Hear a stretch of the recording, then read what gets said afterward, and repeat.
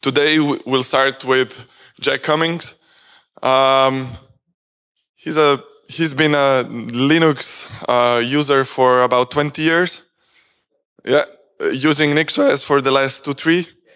Um, he works at Intel on solid state drives, SoCs uh, team. So I think this is going to be a very interesting uh, presentation. So let's start. Different, at least. Um,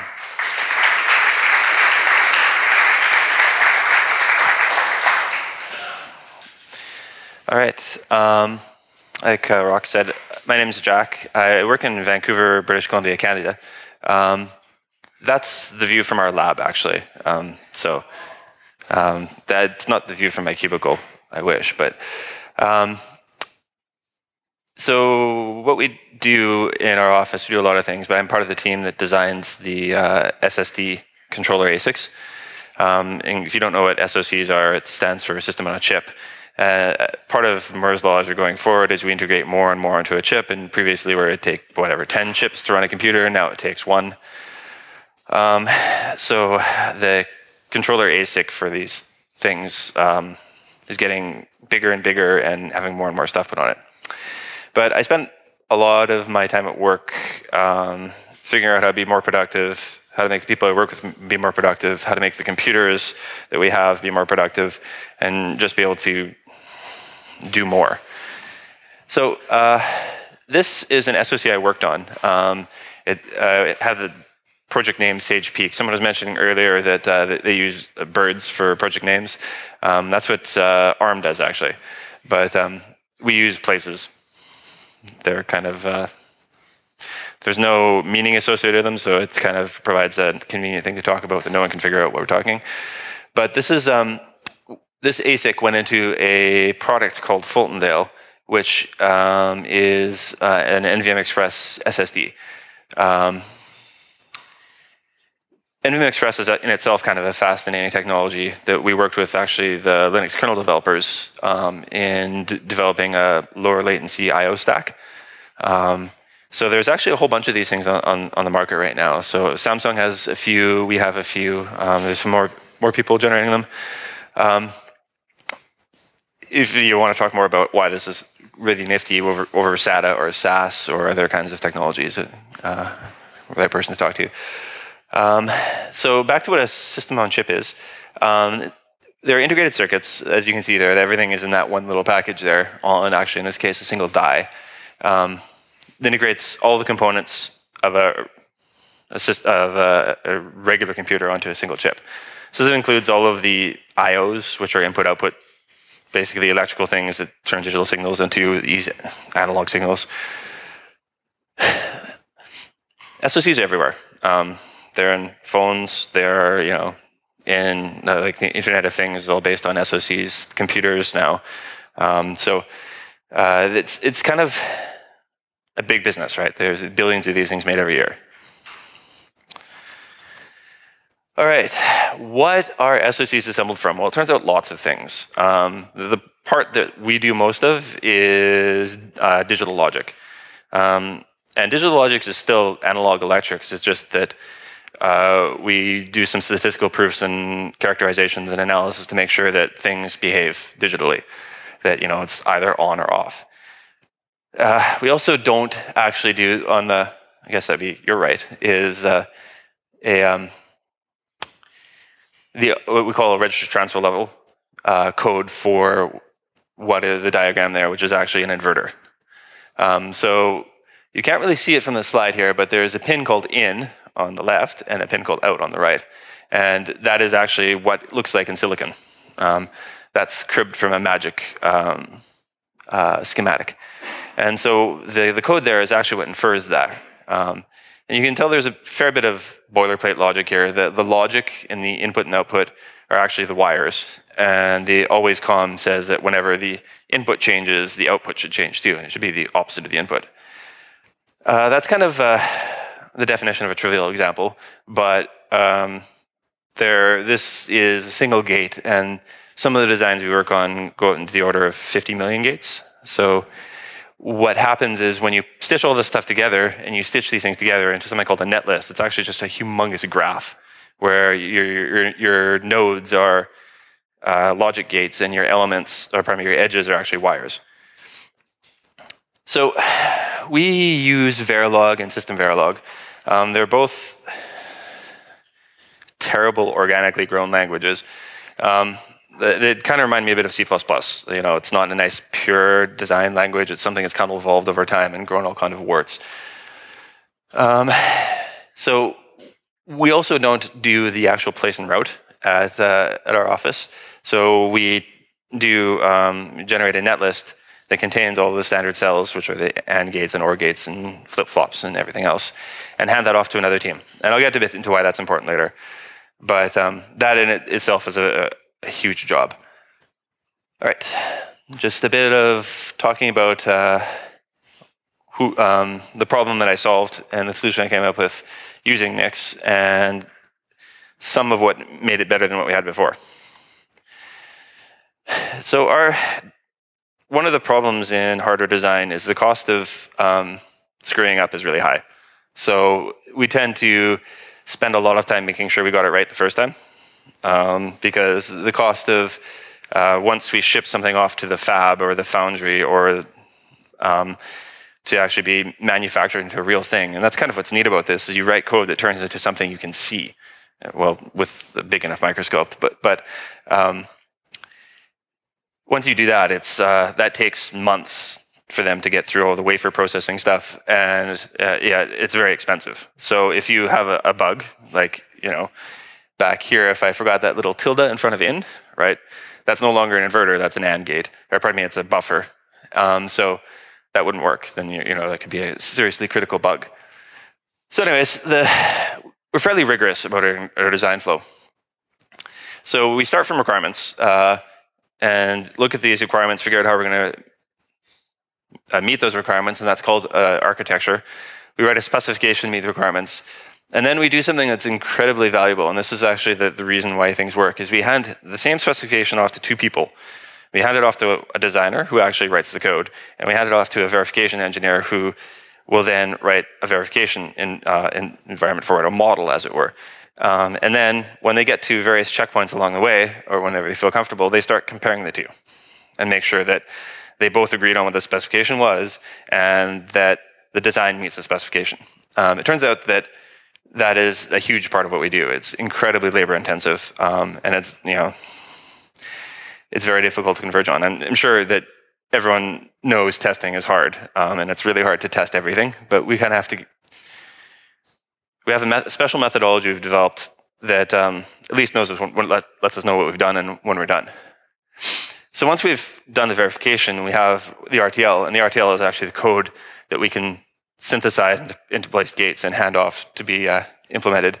Um, and so the actual synthesis is a bit like compiling code, except that you add additional constraints about, you know, it, it must run at this frequency, it must be in fit inside this area, and it must use these certain standard cells.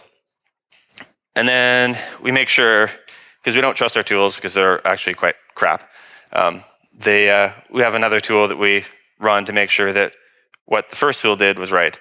Um, and then we generate this netlist, which we hand off to the layout team. And they do their layout and then hand us back uh, placed gates. And then we run that tool again on it to make sure they didn't wreck the thing when they're uh, doing layout. So we get this, working for Intel has certain advantages. We get some, uh, what they call super SKUs of a processor. So they'll take a High-on Xeon processor, cut out um, half of the cores that are too slow, disable hyperthreading, and crank the clock frequency on the others because they're all specially spring sil silicon. So these are uh, Ivy Bridge EP um, uh, compute servers that are running at four and four and a half gigahertz. They're really good at single-threaded performance stuff. They they probably have less throughput than uh, the newer Broadwell EP stuff, but you know, when none of our CAD tools vendors understand how to do threading properly, so it's still all single-threaded performance. And interesting enough, because our CAD tool vendors don't like changing operating systems much, that um, yeah, we have to run with these archaic kernels. Like I think, yeah, that's I'm, I'm, not kidding. That that thing is what six years old now. Uh, yeah, you know, I have no idea. Like it's been patched. I don't know. It's either seven thousand times or seven hundred thousand times. Uh, yeah, I don't know. It's, it's just, so this actually causes unique problems with Nixos stuff because glibc 2.19 is the last glibc that supports kernels that old. So I had I have to have a special version of Nix packages that uses an older glibc. So this is the way we used to do things. We typically used make in isolation uh, for various tasks. Uh, and since some of our tasks have multiple files, we use touch files. We have a bunch of shell scripts written by engineers, and engineers aren't really good at writing code. Um, the, and then we have these Perl scripts that the, parse the output of make debug, which is fragile and kind of horrific. Um, and there's more confusion. And so to get around all this, we have checklists that we follow to make sure that everything was done right, um, which usually means you have to go back and try and figure out why your make scripts failed, um, and more confusion. And yeah, so it's usually, of course, by the time everything's coming together right before you meet your deadlines is when there's the most stress and then finding that, oh dear, we forgot to compile that in or, you know, somehow we got the wrong version of something. Oh, it can lead to tragedy. All right, this is uh, an example. This is a bit, um, I'll come back to this, what this is doing. Um, and there is a bug in here, actually. I just discovered when I was going through this, the slides this morning. Um, and someone pointed out. And when I come back to the slide, I'll, I'll be very interested. But um, this is verification. Um, and it has all kinds of nice things in it that, that Nix does. There's a, a map reduce. Um, so you can see here on line 22, the regression is actually mapping uh, the attribute up top there against uh, building uh, a function to build simulations and then reducing all of the outputs of the simulations into a coverage database. Um, and this is something that it's neat to see that it is just, well, okay, maybe it's not just there, but uh, it's these kind of things are built into Nix, and it's really easy to just be able to use them. Doing a map reduce and make is a lot more work. Um, that's kind of hard to tell what you're doing. So I'm going to talk a bit more about the design partitioning and the design process we do, because it is kind of important. And the reason I'm going to talk about it is you, when you start looking at the design flow, you can kind of, kind of also almost start picking derivations out of the design flow. It's like, well, you know, the doing an elaboration is just a derivation. Anyways, uh, there's in the process of um, the design flow, there's kind of a dual of partitioning and, and, and the actual tasks. So the part, point of partitioning is we want to give individual engineers a block that they completely understand um, so that they can take ownership of it. And this is kind of an important thing for engineering is engineers work better when they take ownership of things. Uh, when you have four owners for something, uh, it's people don't have the same quality of code they put into. Then if you know they own this block, it is theirs. If there's a bug in it, then it's their responsibility to fix it. But the problem is, is our designs are too big to give ownership of everything to one person. So we have a hierarchical process where we recursively partition things down to, till we get to uh, blocks that individual engineers can deal with.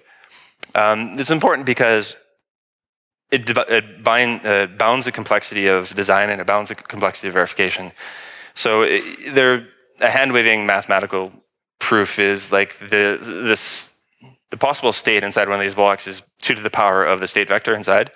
So if you, uh, but when you're doing verification, you can we do black box verification. So you can only actually really stimulate the outside of the block, right? So it's kind of a perimeter versus area thing. So the, the bigger the area of your block is, the harder it is to reach all of the state inside. So if you have too much, if your block is too big, it starts becoming very difficult to actually exercise all the state inside.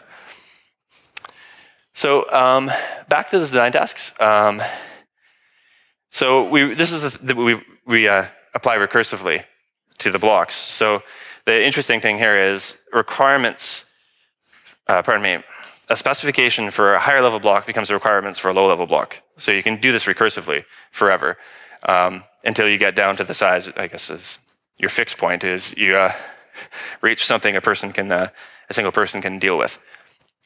And then when you roll this back up, you have different levels of hierarchy, um, subsystems, and then a chip level. So I was the chip level lead for the last chip I was working on this. So I don't understand how the individual details of all the blocks work, but I know they meet their specifications. I know where the specifications are, and I know they've been verified. So I don't need to know. Um, we don't do code reviews, surprisingly, because we verify that it meets their specification. I, actually don't really care what's in the blocks, as long as they synthesize. Yeah. All right.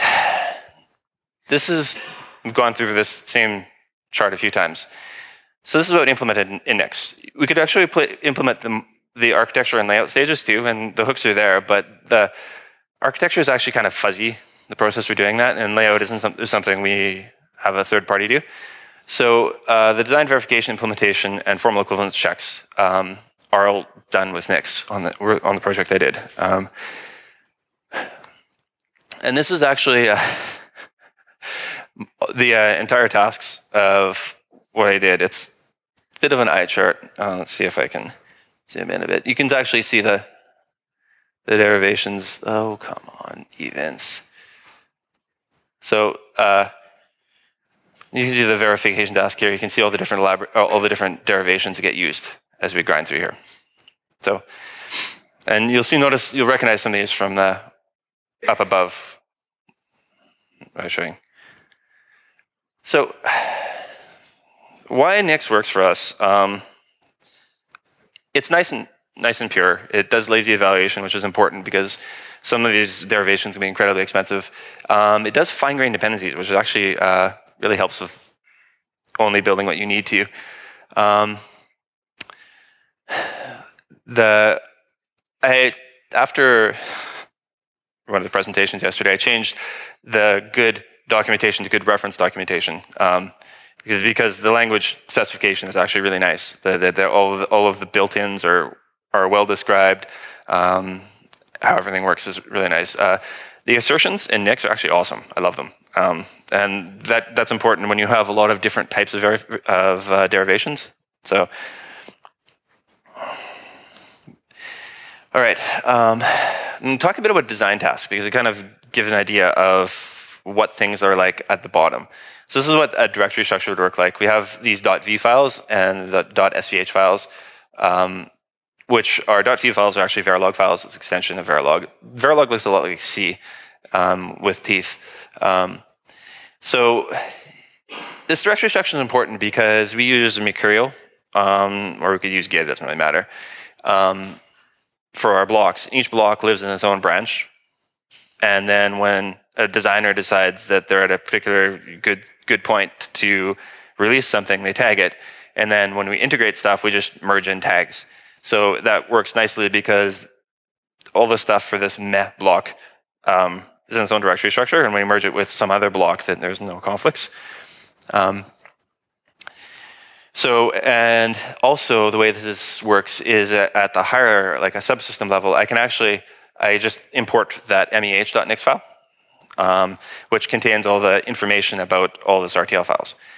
So what's going on here is uh, I use a probably lesser known uh, feature in Nix um, that mostly gets used in Nix packages for patch files that are loaded in the uh, um, in the Nix package itself, or version control and the Nix packages repository itself. Is if you reference a bare file in Nix, it just copies that file into into the store and then gives you uh, the variable uh, then becomes the path to what it copied to in the store.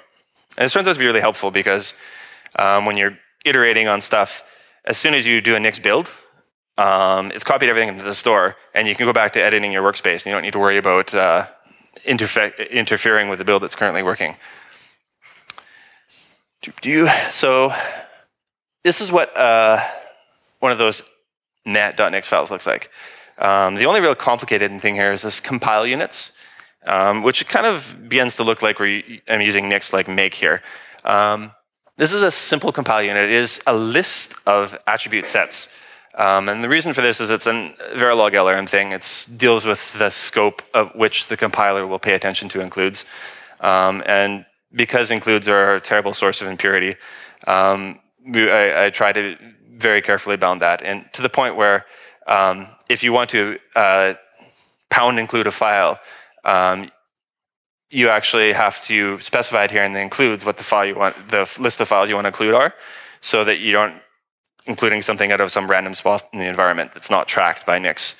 when it's building stuff. So that it, if you change something in that include file, that your hashes will change and Nix knows needs to rebuild everything. So there are a couple useful uh, attributes in this um, net.nix file. Um, the lib attribute and the lab attribute.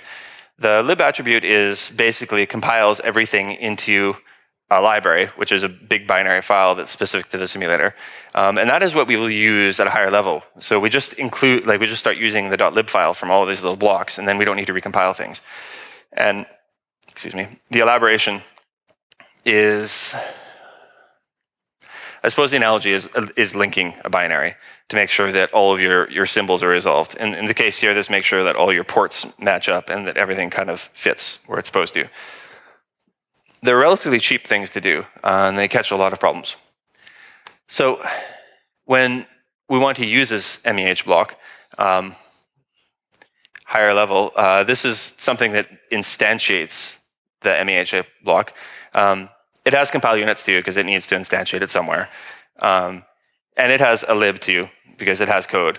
But um, the interesting thing about is during the elaboration, you notice that the libraries now has pulls the meh.lib attribute out of here. So what that does then is when it does the elaboration, it says, okay, pull this elaboration library out of the store. All right, um, and then I've got a bunch of regular stuff, um, regular IP that's kind of derpy um, that we get from third parties. Uh, and there's just use standard derivations for putting that stuff in spots. And of course, since everyone packages their IP differently, if you want to put the models or the specifications in one whole spot, you have to have different derivations for all of them. All right, um, verification flow. This one's I talked a bit about before, but basically what it comes down to is this is pr probably the core of what makes us do SOCs without many revisions. Um, I'm not going to spend a long time talking about it because I don't really have a lot of time, but um, basically we extract requirements from, from specifications. We map those, what we call design requirements into verification requirements, uh, which are based the things we want to see and the one things we want to check. Uh, we map, map those verification requirements into, into tests, and we run, the, run those tests. Um, this really only describes part of what we do because this is all just directed tests, which is probably more of what's understood in the software world. But uh, the majority of our coverage of things, uh, functional coverage, is comes from random constraint simulations. So uh, when I talk about coverage, I'm not talking about code coverage. I'm talking about functional coverage. And functional coverage means that we gave the design the stimulus we want. It did the right thing when we gave that stimulus, and uh, we saw it. Um, so this is important because what you really care about is the thing did what you wanted it to. Um, oh, as a quick question, does anyone know the difference between verification and validation? Anyone? All right. Uh, okay. Verification is a design meets a specification. Validation is a design is suitable for a purpose. And they're not quite the same thing because not we don't always get the specifications right, which is kind of outside of what we do. But so uh, that comes us brings us back to this. So, anyone figure out where the bug was? It's a it's an off by one. This is supposed to be a one.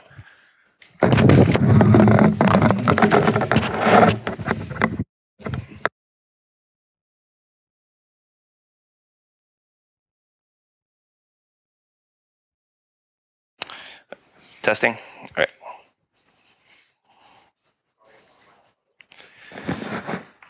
Pardon me? Oh, okay. So uh, what we're doing here is we have five, five different tests there, and they run a whole bunch of seeds for it because they have uh, um, random components. Um, and our simulations have uh, random stability, meaning that as long as the design doesn't change, the same seed will generate the same stimulus. Uh, that's kind of important for debugging is when something crashes, you want to be able to figure out why it crashed. Um, but also you notice there's a bunch of skips in there. That's because uh, you may notice that when you're designing something or testing something, often your test, your bugs are actually in your tests, not in your design or your code. So this is just acknowledging the fact that you know often when you start really testing things, especially random tests, you come across all kinds of things you never expected you'd come across, like uh, address collisions and all kinds of stuff. So um, the reason this is a, uh, uh, supposed to be a one is because when you do a, a, range from zero to 200, you're actually that's 201 elements, not 200 elements. So um, uh, yeah.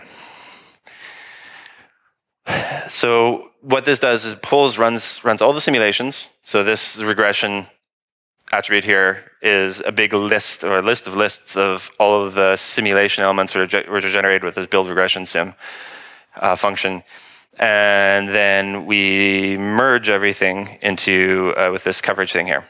and what this does is when we there's stuff built into our language that says when you see something, say that you saw it, and it keeps a database of what it saw. And then we merge across all the simulations we run to see what we saw everywhere and it worked. And then if we say we saw everything we wanted to say, see, we're done.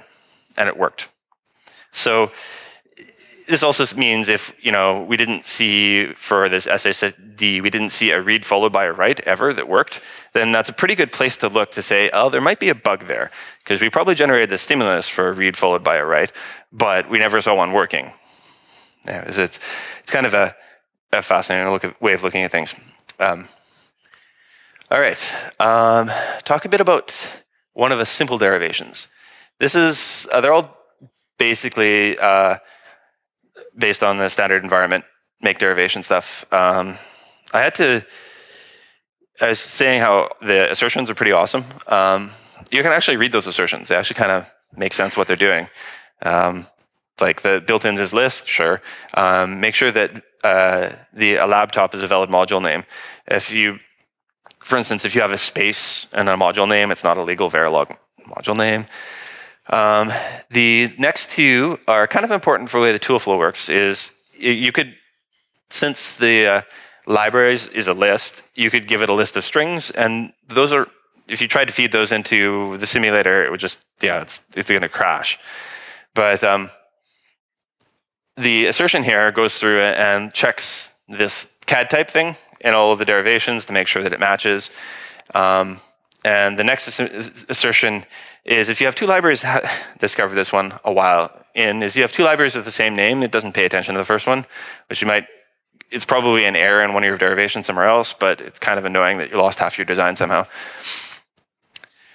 So the reason for doing these derivations is there are, there's an ecosystem of CAD tools, and there are certain points which we divide things on that uh, uh, like the compile units, for instance, there are logical partitioning where you can swap out tools. So the idea being is this is using a tool called ModelSim for doing elaboration, but there are many other tools to do elaboration, many different simulators. For instance, there's the open source Icarus Verilog simulator and a few other ones. So the, the idea being is if you go back to the meh.nix um, file, it just calls make a lab. It doesn't care which simulator you're using. So you could swap out in the back end here, you could swap out to use Icarus now, or you could swap out to use VCS or NCSim or whatever other simulator you want. And it takes the same arguments, it takes the same compile units, um, it just does something different under the hood, generates a different derivation. to talk about something, the reason I put this in here, because this is using another nifty thing I, I discovered in uh, uh.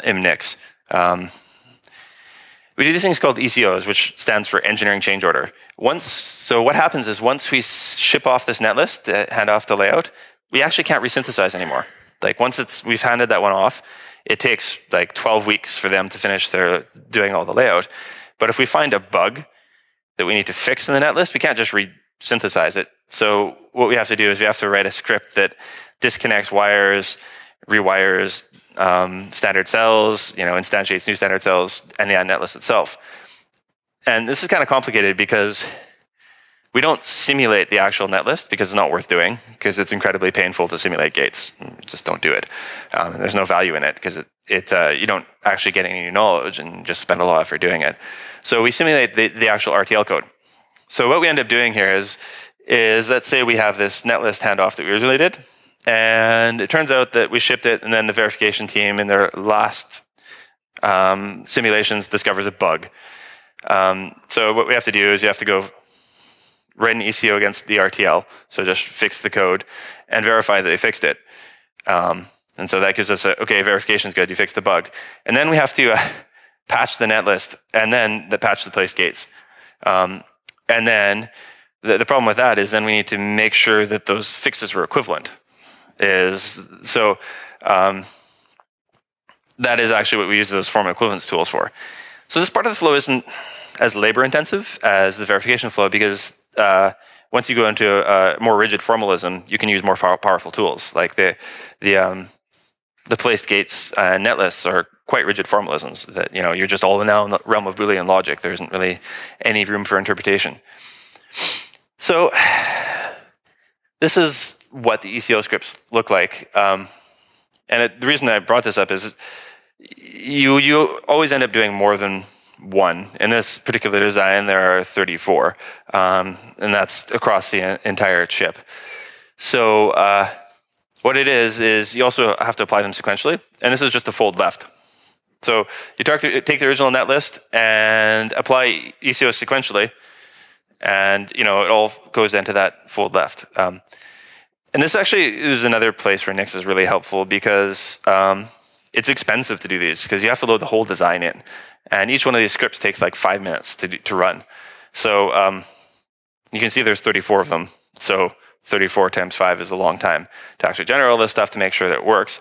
So uh, what I typically do after doing this is after I, you know I generate the last ECO there and I push that into a binary cache, which is accessible via NFS, so that if someone has the unfortunate uh, needs to add another ECO, then what happens is Nix will just pull the intermediate generated netlists out of the binary cache, which saves immense amounts of time.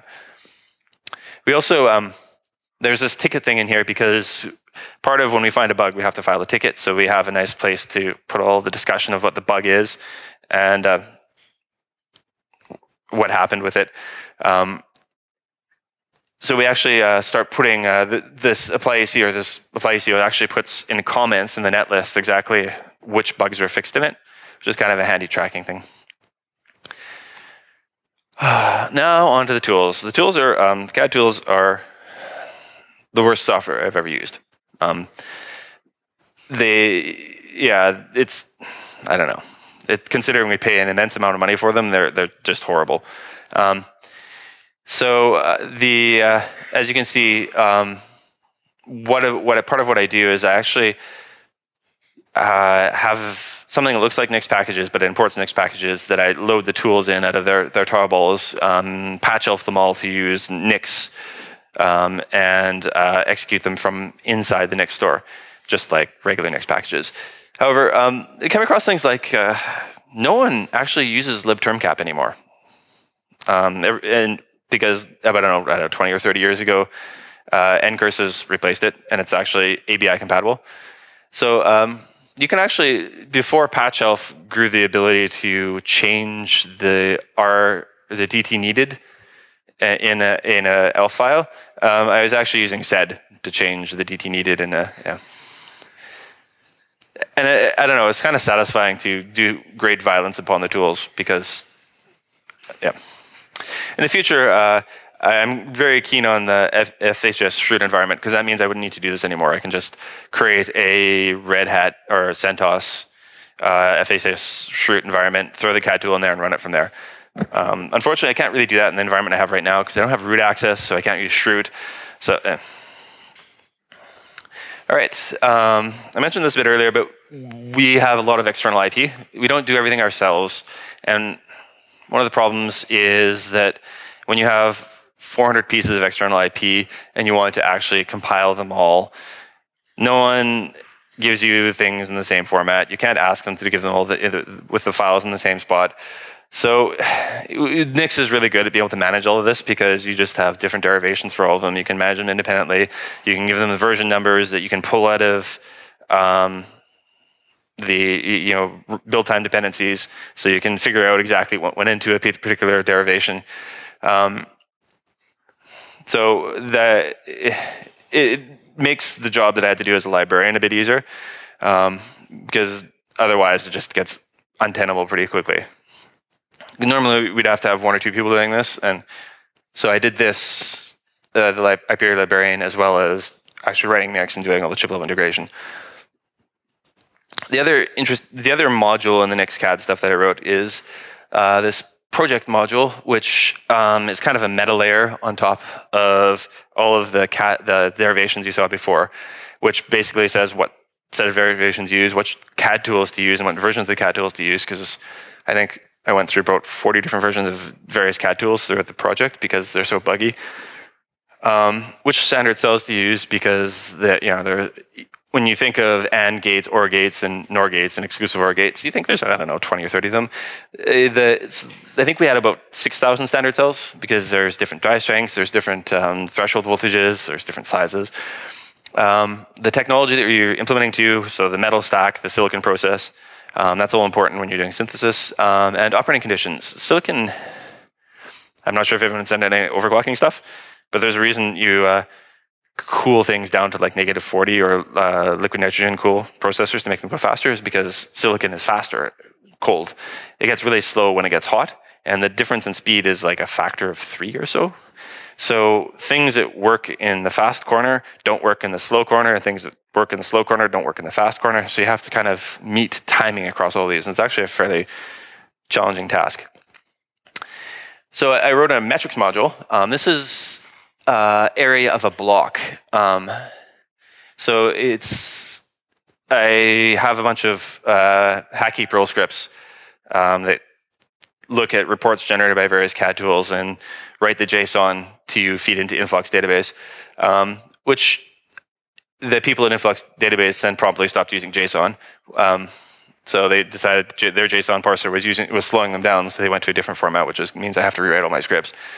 Um, I use Grafana to generate graphs. Um, I think it's uh, Yaka. It was yesterday. I was talking about using Grafana in the Flux database. I thought was kind of interesting. Um, we use Morgoth for anomaly detection. Um, so there's a couple anomalies in that graph that are kind of interesting. Um, so Hydra, during its constant evaluation, evaluates blocks and extracts metrics from it and doing these blocks. So you can look at, I don't have to individually look at the output of all these things. I just look at a dashboard. Um, so when someone screws up one of their blocks and it synthesizes down to nothing because our, our synthesis tools are at least smart enough to know that if you tie the reset for a block off to zero, it can never come at a reset, so they don't bother implementing anything in there. Um, so this chart is interesting because what it is is we synthesize both, both at the block level and the chip level. And what's interesting to see is when we synthesize something at the block level, how much area it uses, how many gates it has versus when you put it in the chip level and put it with all the other blocks, how much area it has. So the anomalies here are actually because um, are at the chip level because what had happened is in one of the register buses to read and write registers from in, in the design to control what it does, um, there was a bug that made it so that it could never actually read or write registers. So all those registers got blown away. So you can see that it, it the block got like half half the size it was supposed to be um, which means something's badly broken. And I have a special module for controlling when we have to make a handoff to someone. So we build board support packages, we build netlist deliverables, we do ECO deliveries so that we have a bundle of ECOs that we hand off to the, the people doing the layout so that they can you know, see here are the scripts that you need to run on the on the placed gates to make sure it works. Um, and for for the board support packages, here are all the register header files, all, this, all 300 specifications you need about all the IP. Um, so those all things you want to kind of abstract a bit because uh, everyone wants them a little differently. Um, we use Hydra a lot. Um, so I had as uh, idea of basically the scope of what we're doing here. There are uh, about 20 blocks, four subsystems, um, a top level, um, and the board support packages. So of each of the level blocks, there are 24 derivations that get evaluated from just doing a elaboration in the simulator, um, an elaboration in synthesis tool doing a synthesis, to doing checking of all the little power collateral to making sure it meets timing, to linting, to all kinds of stuff. Um, the the subsystems have less because some of the subsystems are more difficult to synthesize by themselves, and the chip level has more because there are more checks that we need to do at the top to make sure it all works.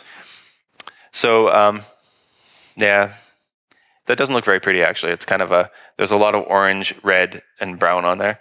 Uh, things are in a constant state of not working. Um, but that's okay because if everything worked all the time, that means you should have shipped a while ago. Um, uh, so uh, I'm in the process of open sourcing all this stuff. I actually have approval from the uh, from Intel to do this, um, which was a presentation I had to make to the.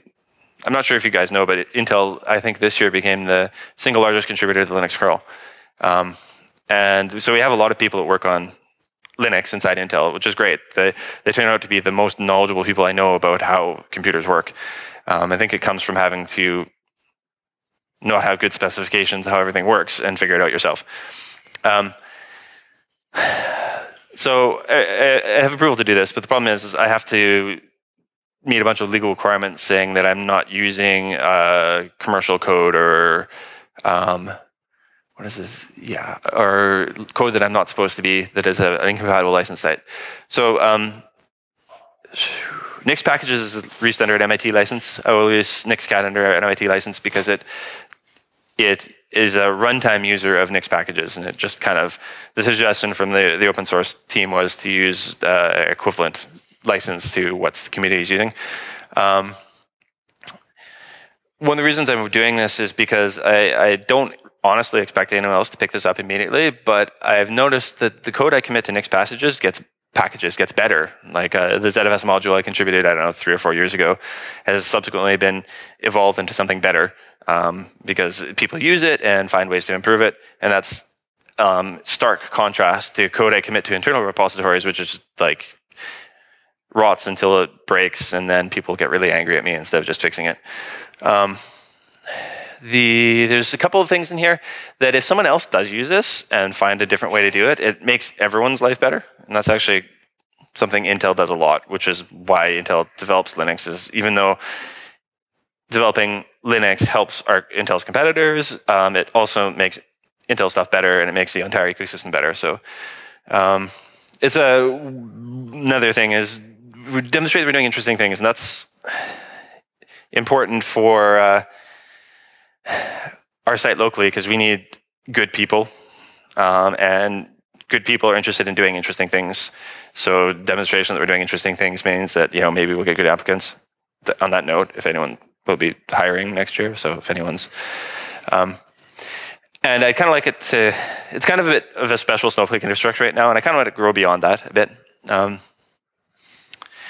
so the other thing I need to do is finish open sourcing NixCAD. I would, I was planning on doing being done by this, but I had a tape out in the way, so I had a lot of work to do. I didn't have a ton, lot of time to, special, to analyze this, but the big reason was is I have to take like 10 hours of training to be able to use the code scanning tool, and the training is only offered every two weeks. Um, I want more purity. Right now, there is lots of opportunity for uh, impure thing, impurities to come in because uh, I'm not even chrooting stuff, so you could just be using random files off of people's home directories. Uh, I would like to, there's actually a, a fairly vibrant community on GitHub for doing open source hardware projects. I probably port a few of those to using GitHub. Um, the I put a hierarchical constraints in there. I'm not going to explain what that is. Uh, take too long. Um, and the next thing I, I, would love to be able to do is using the update operator to take an environment and update all the derivations in it to based on whatever tools you're using. So you can stitch together whatever tool chain you want to be able to use. Um, so the, for instance, environment, first case is the, the environment that we're kind of using, which is a ModelSim, which is a simulator, design compiler, which is a synthesis tool, and formality, which is a formal equivalence checking tool.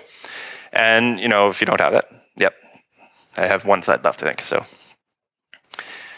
And it'd be nice to be able to use open source tools. So, uh, any questions?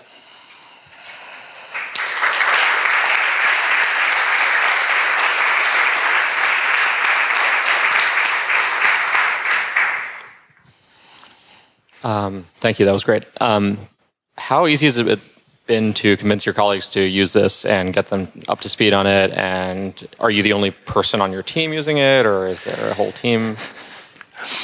so there, there's a couple interesting things there. And uh, this summer, uh, one nice thing about working for Intel is every seven years you get an eight week sabbatical. So I got my sabbatical this summer. So I went on vacation for eight weeks and came back, and people are still using it. So um, it's um, it, it turns out that because I could do a lot more of this stuff and maintain a lot more of this stuff, that with the same amount of effort of maintaining one set of scripts that broke all the time for doing one of these steps, I can maintain this in Nix doing like 30 different steps with about the same amount of effort, uh, which means that people actually want to use it now because they don't have to do it themselves. So it's, uh, it's a big productivity improvement for me to be able to sit on top of doing all this. Any more questions?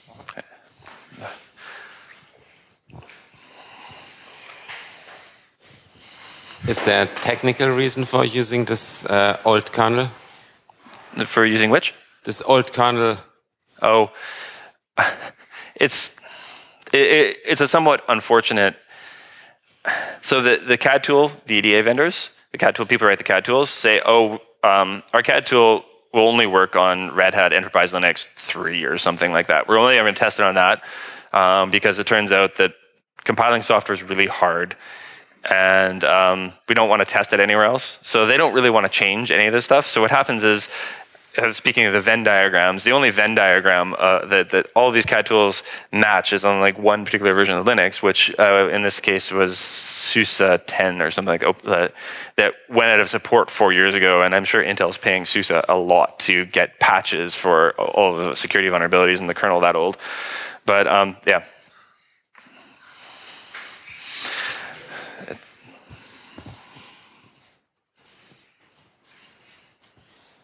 Any more questions? Okay, thank you. Um,